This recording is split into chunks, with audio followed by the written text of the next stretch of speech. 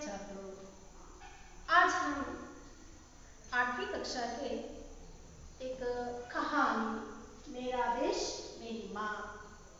इस पाठ के बारे में पिछली कक्षा में मैं एक सिपाही के बारे में बताई थी और मेरा देश मेरी माँ इस पाठ में एक वीर सिपाही, एक मेजर ने जिस तरह दुश्मनों को ध्वंस करके अपनी साधना किया है, इसके बारे में हमने पिछली कक्षा में बताई।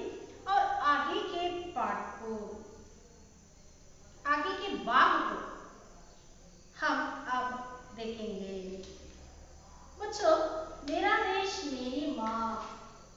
इस कहानी में, इस पाठ में एक सैनिक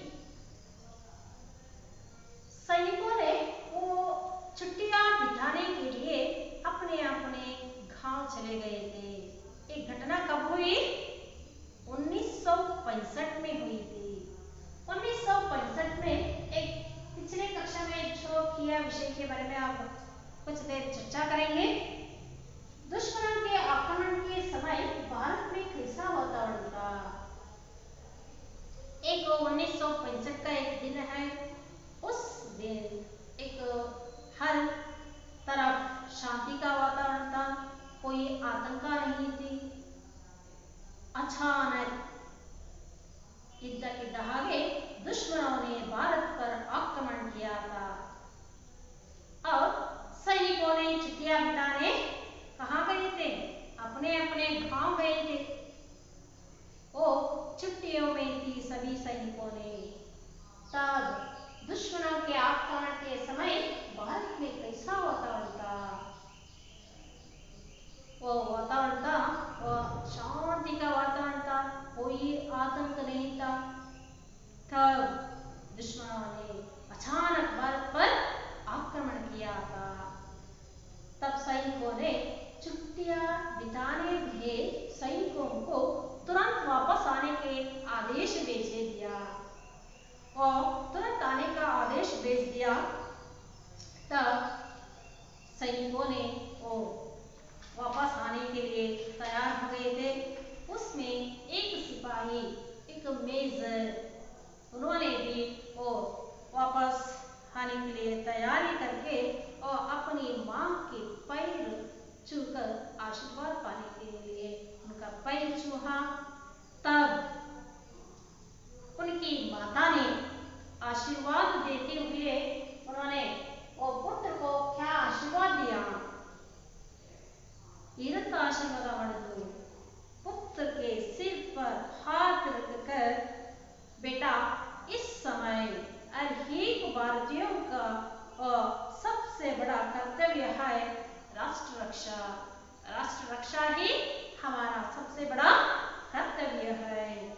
जाओ, दृढ़ता से वो कर्तव्य का पालन करो और एक बात को याद रखने के लिए भी उन्होंने कही ख्याति भारतीय परंपरा सीने पर गोली खाने की है पीठ पर नहीं इसे आशीर्वाद देते हुए पुत्र को वो भिजवा दिया ಈ ರೀತಿ ತನ್ನ ಮಗನಿಗೆ ಆಶೀರ್ವಾದ ಮಾಡಿ ಪುನಃ ಮಗನನ್ನ ವಾಪಸ್ ಸೈನ್ಯಕ್ಕೆ ಕಳಿಸಿದ್ರು ಆ ಹೋಗ್ತಿದ್ದ ಹಾಗೆ ಓ वहाँ वो भीषण युद्ध ओ युद्ध फैल गई थी और एक को चुनौती थी वो कौन सी चुनौती इच्छा नहर की मोर्चा वो चुनौती की दीवार बनकर खड़ी थी भारतीयों के लिए चुनौती को स्वीकार किसने की मेजर ने की और अपनी मौत की परवाह किए बिना ತನ್ನ ಸಾವನ್ನು ಲೆಕ್ಕಿಸದೆ इसका जिम्मेदारी ले लिया और ಇದರ ಜವಾಬ್ದಾರಿಯನ್ನು ಅವನು ತೆಗೆದುಕೊಂಡ ये जवाबदारी दिला वो आसान का काम नहीं था ಬಹಳ ಕಠಿಣವಾದ ಕೆಲಸವಾಗಿತ್ತು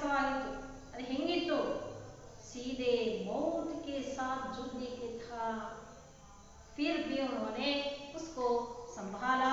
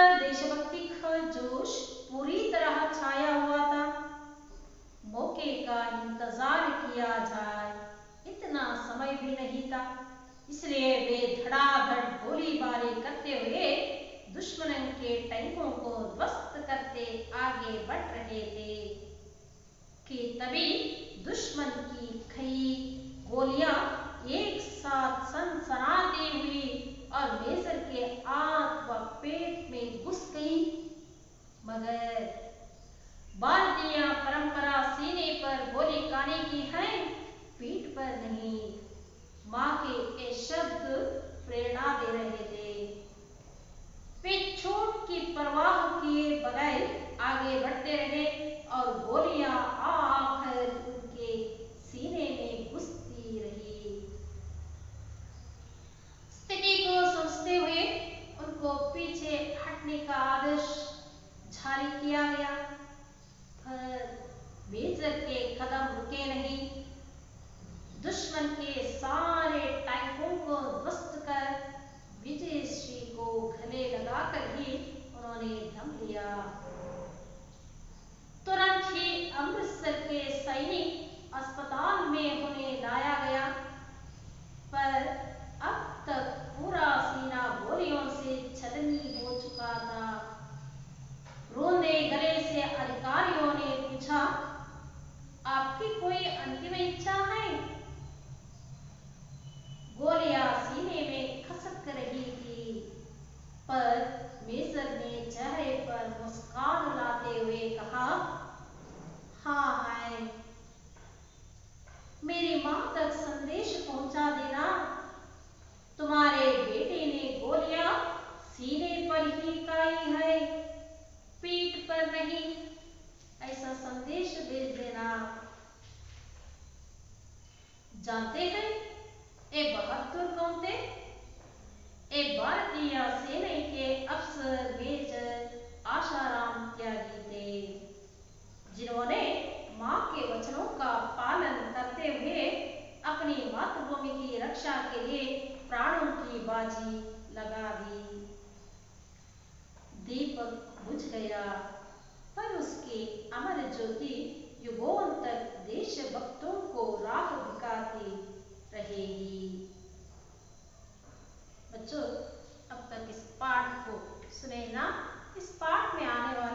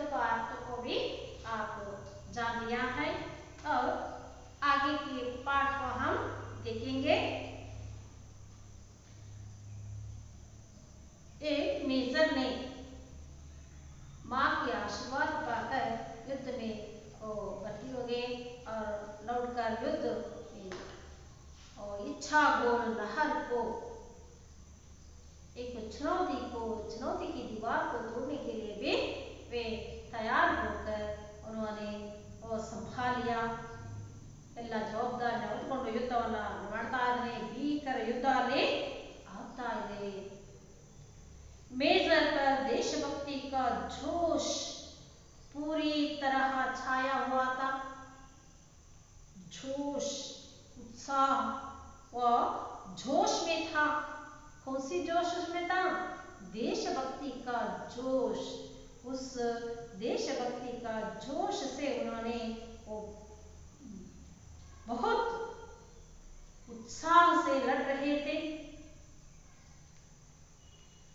मौके का इंतज़ार किया जा इतना समय भी नहीं था।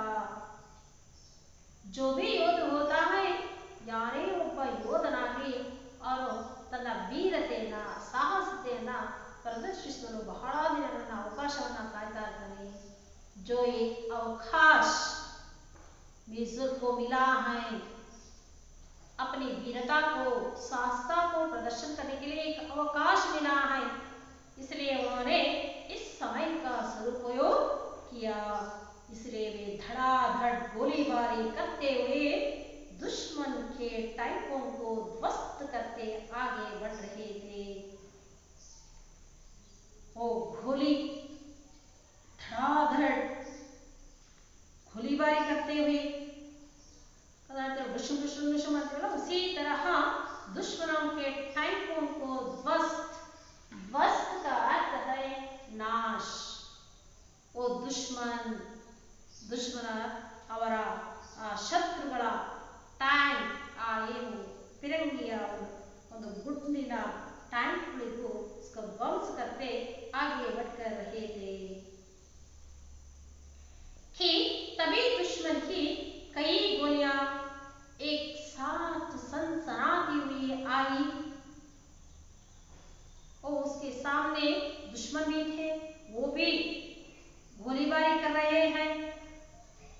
सामने से वो दुश्मन भी गोलियां एक साथ सनसनाती हुई आई ಆ ಕಡೆಯಿಂದಲೂ ಗೋಲಿಗಳು ಬರ್ತಾನೆ ಇದಾವೆ ಬರ್ತಾನೆ ಇದಾವೆ ಆ ಬಂದಂತ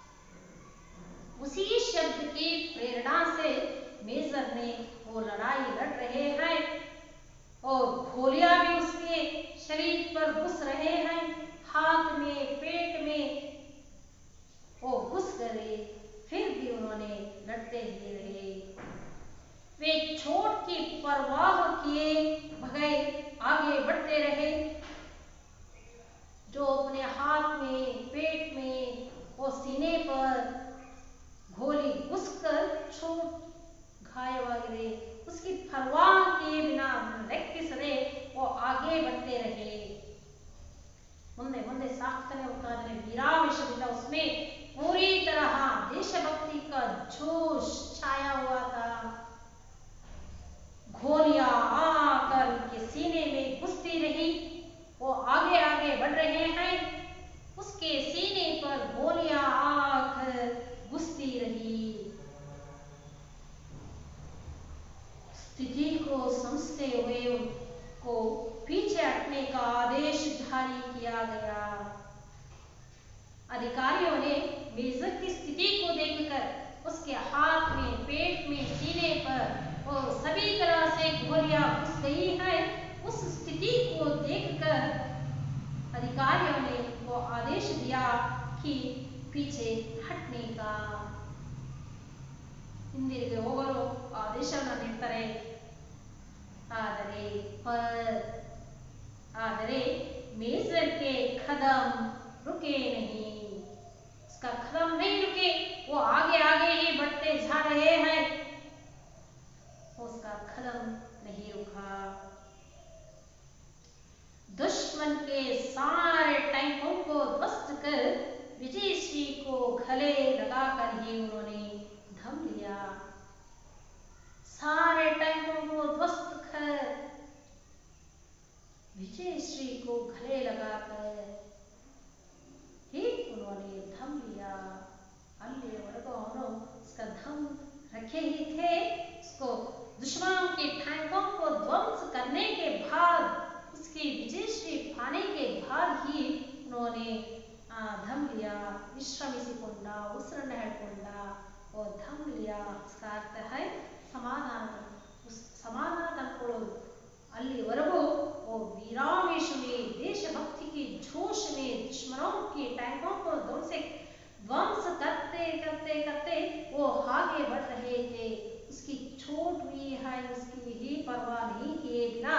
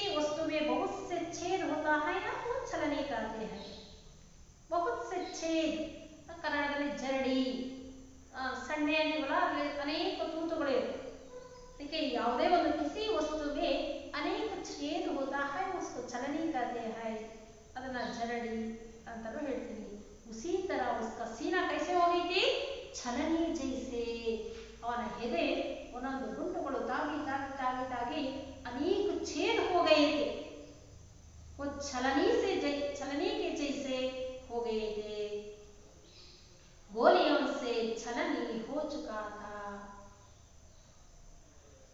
रोंदे गले से अधिकारियों ने पूछा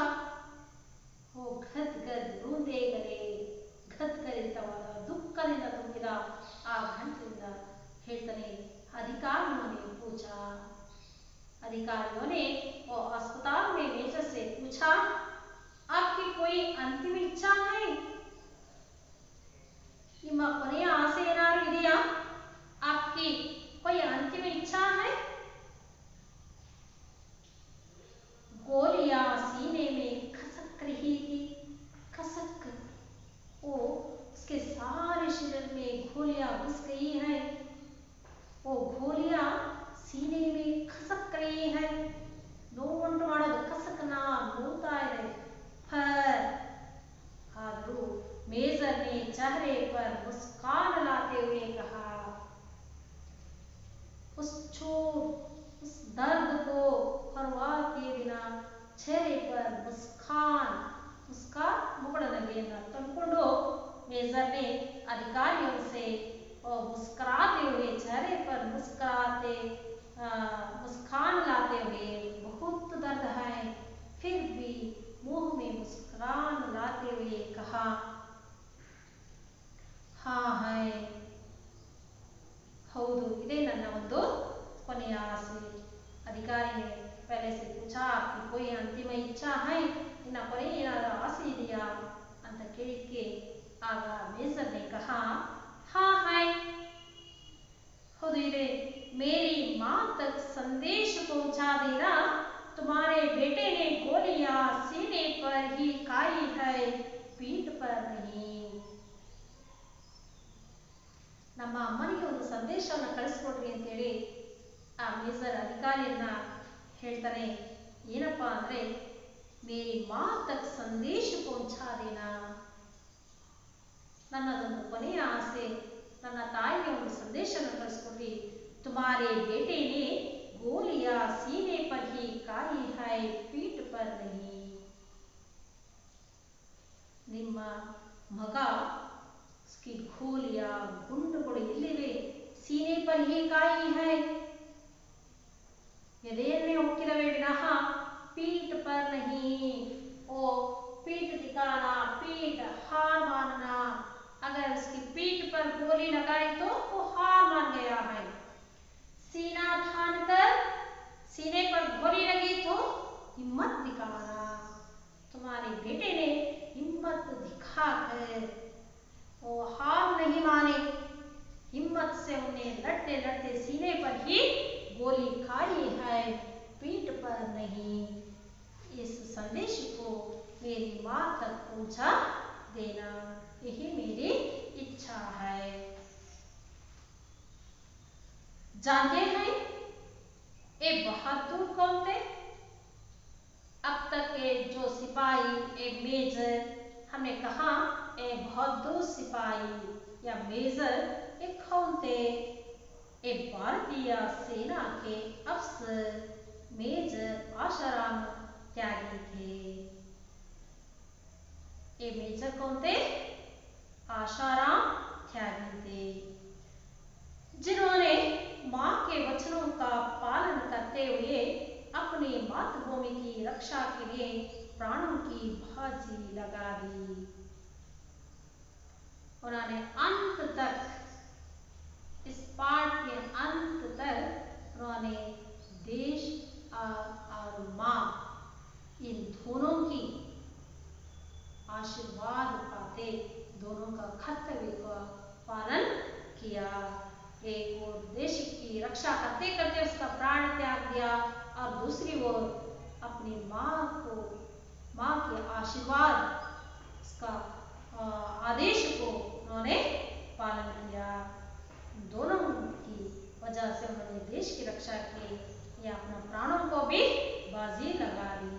ತನ್ನ ಪ್ರಾಣವನ್ನೇ ಬಲಿಯಾಗಿ ಇಟ್ಟ वो कौन है वो सिपाही या मेजर वो हमारे भारतीय सेना के अफसर आशाराम त्यागी थे इस तरह ये आशाराम त्यागी का दीपक बुझ गया वो दीपक दीप जैसे उन्होंने प्रकाश डाला है प्रकाश फैलाया है एथी बुझ गया, हार होते पर उसकी अमर ज्योति युगों तक देश को राह दिखाती रहेगी। दीपक तो बुझ गया है, लेकिन ए अमर ज्योति अमर ज्योति आज के युग के देशभक्तों को ಈಗಲೂ ಸಹ ಅನೇಕ ದೇಶಭಕ್ತ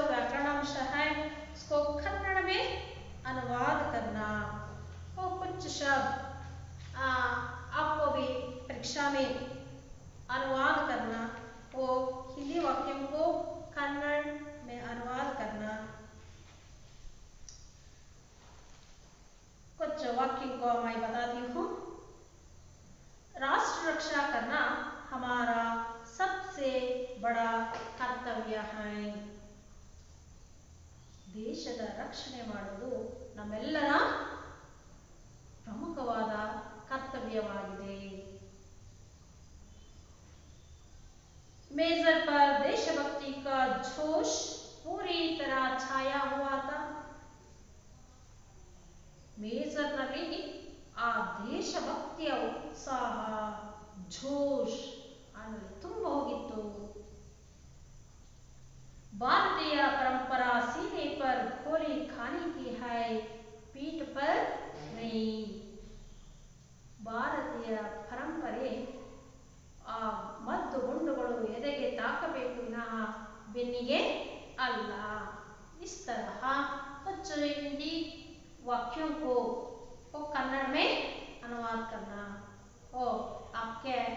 किताब में अभ्यास में अनेक अनुवाद के वाक्य हैं, उसको भी लिखना और अनेक शब्द है, इसको भी अपने वाक्यों में प्रयोग करना।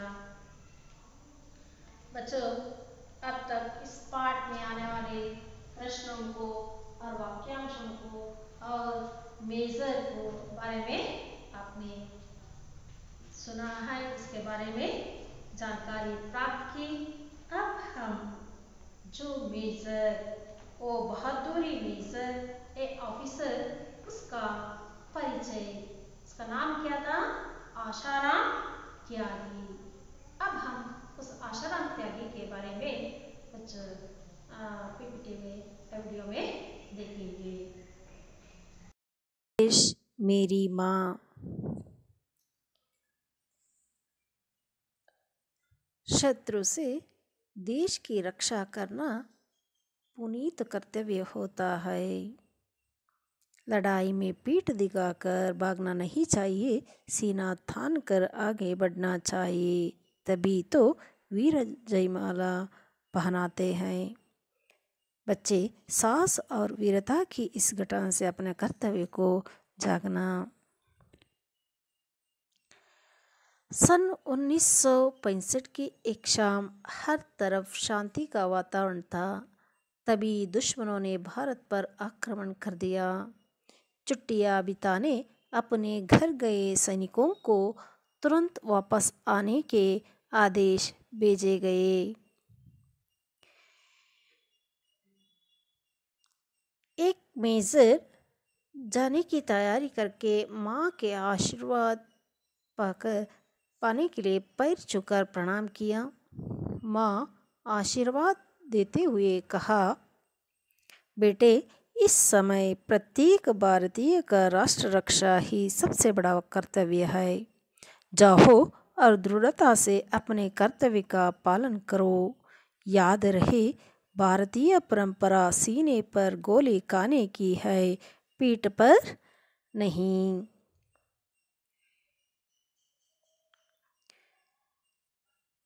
युद्ध भीषण रूप से फैलता जा रहा था। इच्च गिलदहर का मोर्चा भारतीय सेना के लिए एक चुनौती की दीवार बन खड़ा था। इसका दायित्व मेजर ने कर लिया। मेजर पर देशभक्ति का जोश पूरी तरह छाया हुआ था। मौके का इंतज़ार किया जाए, इतना समय भी नहीं था। वे दुश्मनों के टैंकों को ध्वंस करते आगे बढ़ रहे थे। उनकी, तभी दुश्मन की कई गोलियाँ एक साथ सनसनाती हुई आई और मेजर के हाथ व पेट में घुस गई। मगर भारतीय परंपरा सीने पर गोली खाने की है, पीठ पर नहीं, माँ के शब्द प्रेरणा दे रहे थे।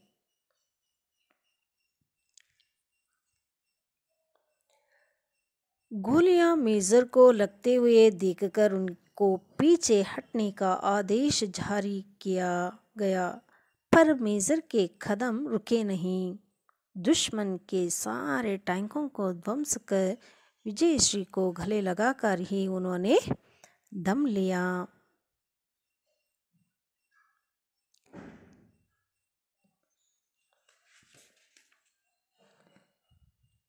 घायल मेजर को तुरंत ही अमृतसर के सैनिक अस्पताल में उन्हें लाया गया। अब तक पूरी पूरा सीना गोलियों से छलनी हो चुका था। रोंदे गले से अधिकारियों ने पूछा, आपकी कोई अंतिम इच्छा है? गोलियाँ सीने में खसक रही थी परमेश्वर ने चेहरे पर मुस्कान लाते हुए कहा हाँ है। मेरी माँ तक संदेश पहुँचा देना तुम्हारे बेटे ने गोलियाँ सीने पर ही काई है, पीठ पर नहीं।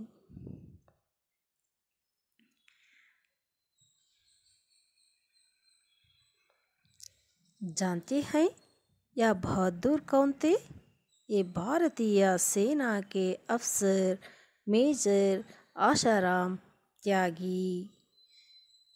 जिन्होंने माँ के वचनों का पालन करते हुए अपनी मातृभूमि की रक्षा के लिए प्राणों की भाजी लगा दी। दीपक बुझ गया, पर उसकी अमर ज्योति युगों तक देशभक्तों को राह दिखाती रहेगी। ये आशाराम त्यागी भारतीय सेना के मेजर थे। 21 सितंबर 1965 के भारत पाकिस्तान युद्ध में वे शहीद हुए। युद्धोपरांत उन्होंने, उन्हें महावीर चक्र प्रदान कर सम्मानित किया गया। ये है आशाराम त्यागी, ये दीपक बुझ गया, पर उसकी अमर ज्योति युगों तक देशभक्तों को राह दिखाती रहेगी। अब हम बच्चों, अब तक ये बहादुर, मेजर, ऑफिसर आशाराम त्यागी के बारे में अब हम जानकारी प्राप्त की है। और इसके आगे के कार्य गृह कार्य है।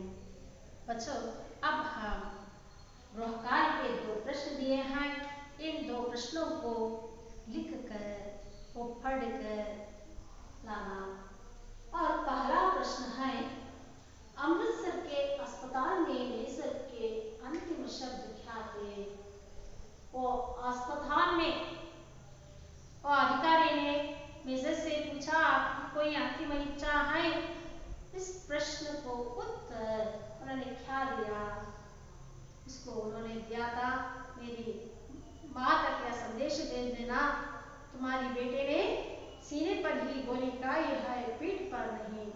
इस तरह उत्तर लिखना। और दूसरा प्रश्न। मेजर आत्माराम त्यागी की युद्ध कुशलता के बारे में लिखिए। वो किस तरह उन्होंने युद्ध किया? युद्ध कुशलता का भी आप अपने वाक्यों में